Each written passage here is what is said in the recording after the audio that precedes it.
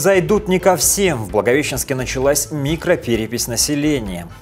След по Благовещенске. Сотрудники местного УГРО раскрывают преступления по одному волосу. Удалились на отдых. В Благовещенский летний сезон закрыли байкеры и фермеры. В эфире информационное агентство «Город», студия Александр Воронин. Здравствуйте. Из-за сильного снегопада в Зейском районе ввели режим чрезвычайной ситуации. Катаклизм на выходных парализовал движение на дорогах. Инспекторы ГИБДД патрулируют особо заснеженные участки. Их расчистка продолжается и сегодня. Снежный покров сохраняется и в Селимжинском районе. А благовещенцам ждать подобного явления еще долго. После похолодания в конце прошлой недели нынешняя готовит горожанам очень теплый сюрприз.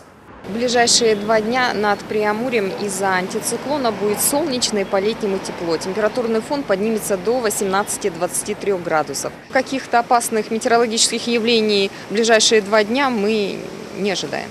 Солнечная погода позволит продолжить работы по реконструкции перекрестка Калинина и Тенистой. Там сейчас устанавливают новую полосу движения. Специалисты уже подготовили подушку и установили бордюры. Какие изменения переделка внесет в движение троллейбусов и когда автомобилисты опробуют новую полосу, знает Ольга Туманис.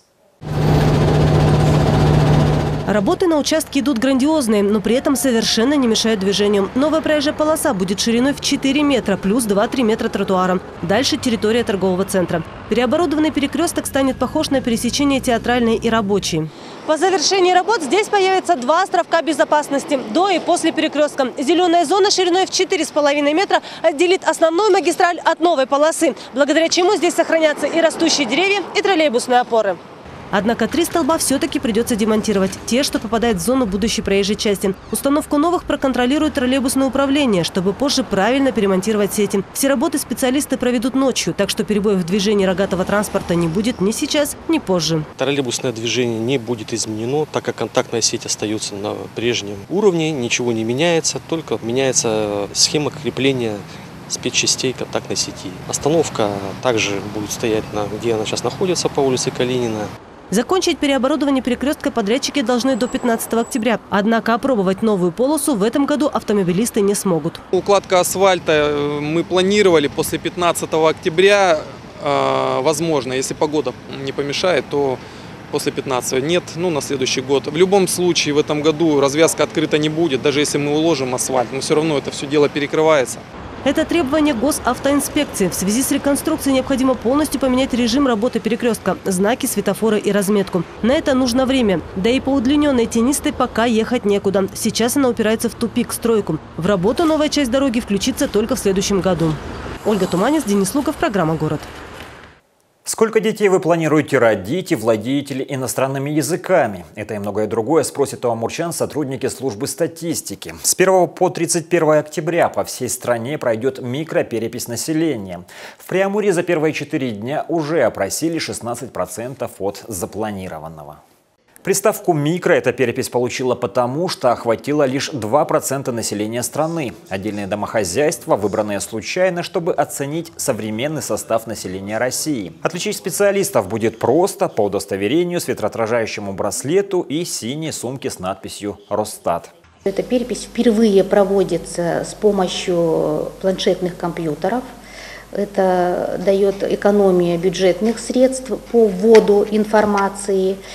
Ну и, конечно, улучшается качество самой информации, так как первичный контроль э, заложен в программе.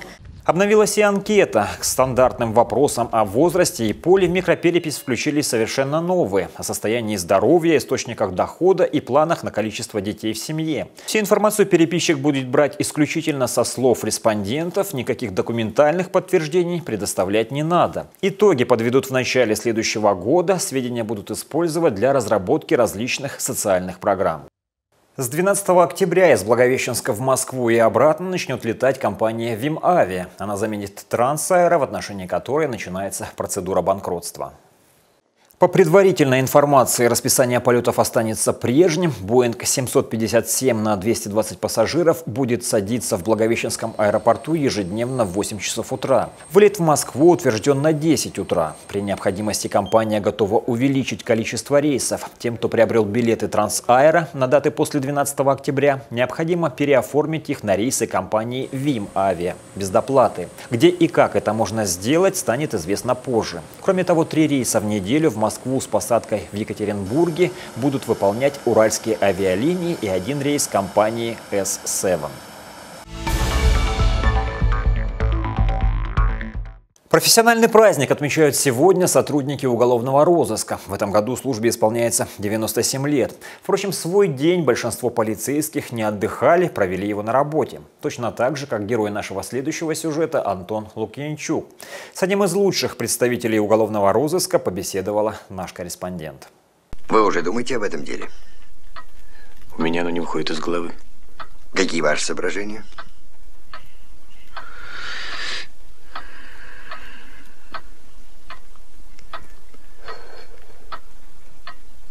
Запутанная история. Майор полиции Антон Лукинчук на роль Шерлока Холмса хоть и не претендует, но запутанных историй и в его работе больше, чем достаточно. В органы мужчина пришел в 2003-м по стопам братьев. С тех пор ищет правды в самых страшных преступлениях, направленных против личности. Сколько их уже раскрыл, считать не берется. Зато профессиональным секретом делится охотно. Если не переживаю за раскрытие преступлений, всегда лицо устанавливается буквально в сутки вдвое. Вот это всегда. Если начинаю переживать, что, допустим, там тяжело будет искать кого-то, да, вот потому что такая, ну, обстановка, там свидетелей нет, там никого нет, место пустынное, там, начинаю переживать, и преступления зачастую раскрываются маленько подольше. Ежегодно его отдел по особо тяжким раскрывает до 90% преступлений. И это несмотря на то, что злодеи делают все, чтобы их не нашли. По методам заметания следов преступниками современным Шерлоком впору самим писать детектив. Следы крови затирают краской, чтобы избавиться от отпечатков, поджигают дом. Порой от убийц полицейские находятся буквально на волосок. Один волосок, оставленный преступником на капюшоне зимней куртки. Благодаря этому было раскрыто убийство, когда еще у нас в городе были и горные заведения, но лицо никаким образом не относилось, подозреваемый, никаким образом не относилось ни к событию, то есть он был ни с кем не знаком абсолютно. И устанавливать его личность было очень тяжело. Впрочем, нет ничего тяжелее, чем сообщать о несчастье родным. Поэтому делать это как можно реже – самое частое пожелание, звучащее в День работника уголовного розыска. Юлия Мишурнова, Денис Лугов, программа «Город». А еще сегодня свой праздник отмечают представители более безопасной, но уж точно не менее важной профессии – учителя. Прославить их через интернет на всю страну предлагает Министерство образования. Федеральные чиновники организовали флешмоб на сайте Минобра. На ресурсе сформирована интерактивная лента с поздравлениями учителей от всех желающих. Оставить не свое сообщение легко, нужно опубликовать в соцсетях фото или видео с любимым педагогом и присвоить ему хэштег «любимый учитель». Следует указать его место работы и полное имя. Самые интересные фото будут представлены в Кремлевском дворце. Их покажут во время концерта по случаю праздника. Рев мотора в гонке на скорость и, конечно же, много музыки. Благовещенские байкеры закрыли мотосезон 2015 масштабной вечеринкой. Но нашему корреспонденту мотоциклисты признались, этот праздник для них самый грустный в году. Благовещенские байкеры закрытие мотосезона устроили на картодроме за городом. Площадка небольшая, поэтому размещались кто как сумел. Как говорится, в тесноте да не в обиде. Денис Китаев – свободный байкер. Один из самых молодых в тусовке. Не по возрасту, по статусу. За рулем двухколесного всего несколько месяцев. А для себя выбрал раритет – Днепр 91 -го года. Таких больше не выпускают. Завод давно закрыли. В русских мотоциклах души больше.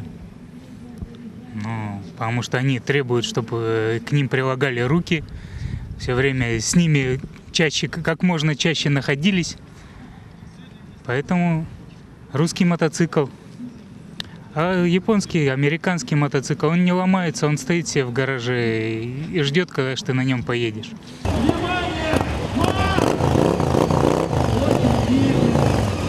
Быть байкером – это не только уметь красиво постоять на фоне мотоциклов или как следует пожечь резину. У них и свои конкурсы есть, и даже гонки наоборот. Кто медленнее проедет. Главное условие – не касаться земли ногами. А еще мотоциклисты – это сборник всевозможных примет и суеверий, которые суровые мужики в косухах трепетно соблюдают. Заднее место, оно для женщины, для моей любимой, поэтому сзади только члены моей семьи ездят, больше никто. Мужчин я там не вожу. Шлем не должен падать. Ой, да там много. Заранее не хочется говорить, куда едешь, э, как бы, знаете, загадывать наперед. Я вот не люблю. Закрытие сезона для мотоциклистов – праздник грустный, а потому формальный. На деле обратный отчет до новых выездов байкеры начнут, когда загонят коня на зимовку. А в гараж двухколесные отправятся только, когда дороги покроет наледью. Так что еще пару недель благовещенцы послушают рев моторов. Кристина Добровольская, Наталья Спицына, Андрей Белый. Программа «Город». В минувшую субботу благовещенцы буквально атаковали центральную площадь. Стройные очереди возле торговых палаток чем-то напоминали советские. Правда, дефицитом здесь и не пахло. Просто ярмарка выходного дня закрыла летний сезон. Наш корреспондент по такому случаю встала в выходной пораньше. Ну вот, набрали картошечки. В горожанке Ольги Тяженковой постоянно говорит ее сельское прошлое. Для всей ее семьи доморощенные овощи значит лучшие. На последние в этом году ярмарки запасается не медом и соленьями, а картошечкой. Мне нравится, я вот каждую субботу приезжаю. Ну, сразу много и наберу, конечно. Ну, где картошку, перец, помидорчики. Сейчас смотрю, и редисочка свежая. Ну, в общем, конечно, очень хорошо, что вот эту ярмарку сделали.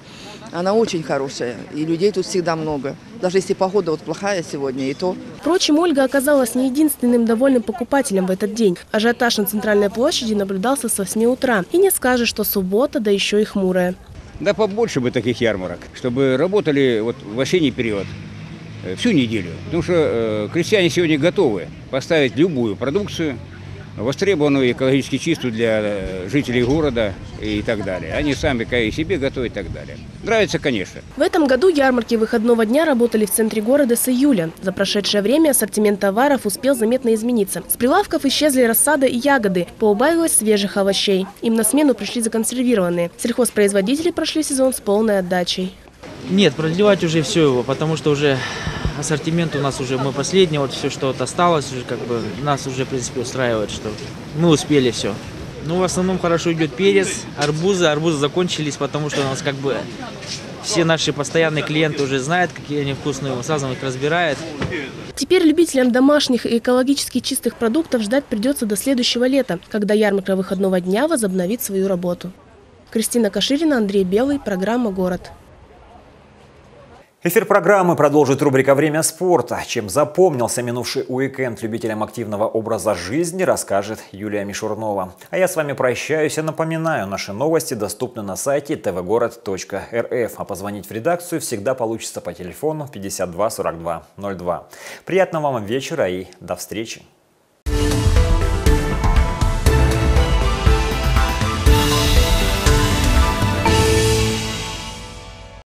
Добрый вечер, в эфире «Время спорта». Клубу «Благовещенск» покорился очередной спортивный пьедестал. На прошлой неделе его игроки стали лучшими в городском первенстве по футболу. В решающем матче со счетом 5-1 они обыграли «Макс Интер» и таким образом оказались первыми среди 11 благовещенских команд.